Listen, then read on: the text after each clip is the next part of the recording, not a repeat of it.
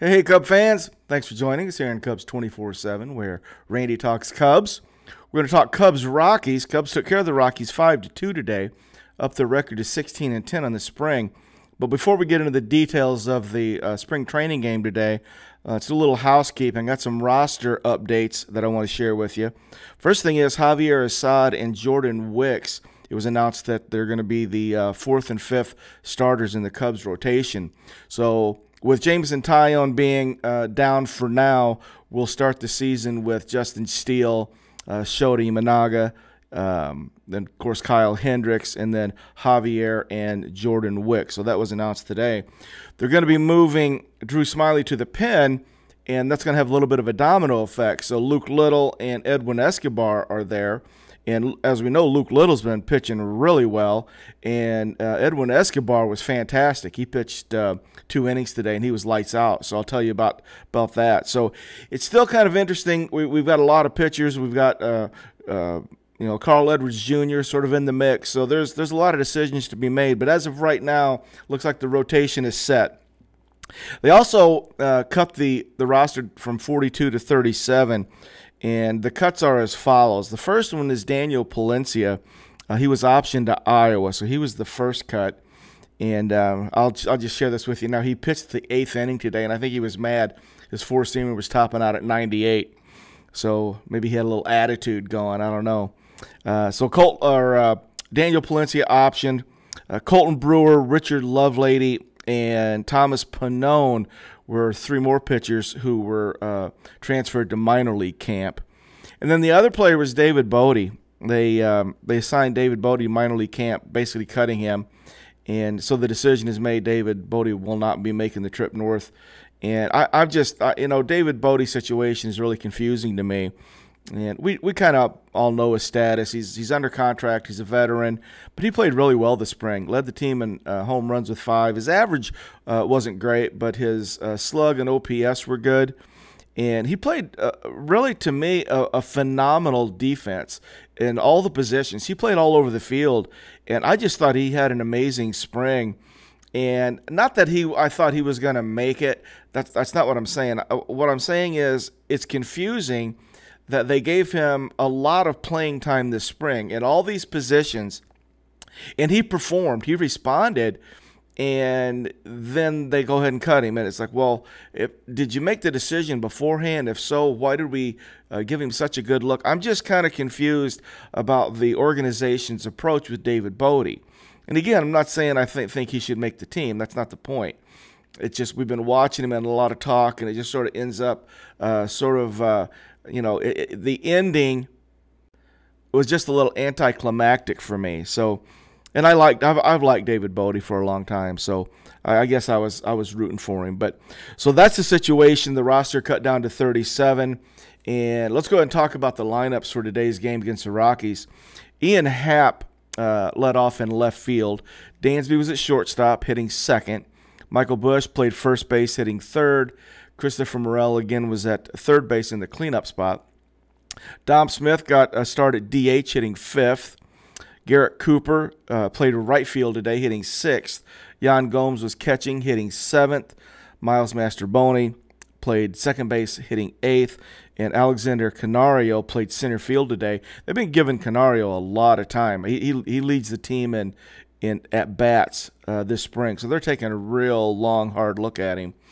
So we won five to two, but we were sort of down, and it was another uh, like the third game in the row. The offense was anemic, so we scored one run in the fourth inning, and we were down two one late. Uh, got a run in the eighth, and then the kids scored three in the ninth inning to win it. And I'll walk you through that. But um, we had nine hits total, walked once, struck out 11 times and um, it was the it was the minor leaguers, and I'm talking about the the deep minor leaguers. There's some names on here that are obscure. So let's walk through the scoring. We got a run in the fourth inning when uh, Christopher Morel walked, and Dom Smith hit a ringing double to right field. Morel scored from first. That was the first run in the fourth. We got another run in the eighth inning. I'm going to give you three minor league names. Josh Rivera reached on an error by the third baseman, E5. Drew Bowser followed him with a, a line drive single to center. And then Liam Spence uh, singled to right uh, for an RBI scoring Josh Rivera for the eighth. So a little bit of um, uh, capital, capitalizing on an error by the Rockies, a manufactured run by the minor leaguers in the eighth. So we go into the ninth inning, and it's uh, two to two. So three more names: Parker Chavers singles. Juan Mora follows him with a single, and then Cole Roederer. Cole's gotten some bats this spring. We've talked about him a little bit. He's a little gamer, by the way. Uh, Cole Roederer hits a three-run home run to right center field, scores three. Just just awesome. So the the minor leaguers came in late and got it done, and they needed to because uh, well, let's just walk through what everybody did. Ian Happ led off left field. He went 0 for 3, struck out looking, uh, fly out to left, and a uh, ground out to second base. On the sea, on the spring, Ian Happ is hitting 111. I don't want to scare you, but I'm going to give you some uh, everybody's average. All of the theoretical, uh, you know, roster guys, their average for the spring. I'll give those to you. Dansby Swanson today went 0 for 3, uh, flew out to center field, uh, popped out to the second baseman, and grounded out uh, to the third baseman, uh, stranding two runners. He's hitting 188 for the spring. Michael Busch went 0 for 3 with a strikeout, fly out to center, and a fly out to right field. Uh, he's hitting 216. Christopher Morel went 0 for 2 with that walk. So Christopher Morel walked and scored. Uh, he's hitting 286. Dom Smith had that RBI double. Dom went uh, one for three today. He's hitting 346. Is Dom Smith? Uh, Garrett Cooper had a bad day. Had the had four strikeouts. Had two swinging and one looking. So he went 0 for 3. So uh, Coop is now hitting 231. Yan Gomes had a hit today. Went one for two. He's hitting 310.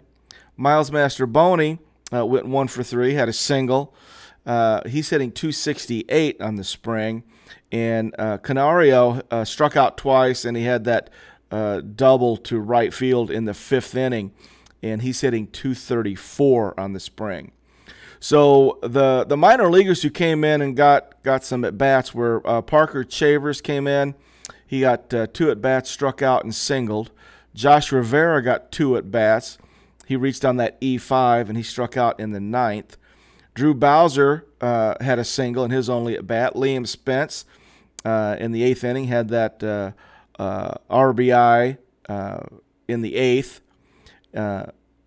Kristen Moore, Kristen is um, was it got an at bat in the eighth, grounded out to second. Jacob Wetzel struck out swinging in the ninth. Joe Hudson um, got a, a, bat and he lined out to center field.